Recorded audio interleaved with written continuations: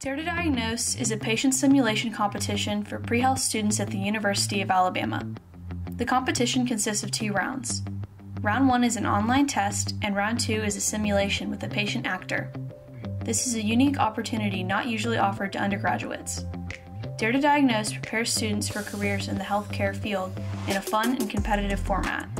I competed last year at UAB because I really wanted to get the experience of interacting with patients. It was the most meaningful medical experience of my freshman year. You have to learn about various conditions and order tests for your patient, but the best part is when you actually get to interact with the patient actors. They give great feedback while making the interaction as realistic as possible. I really hope that UA students take advantage of this amazing opportunity.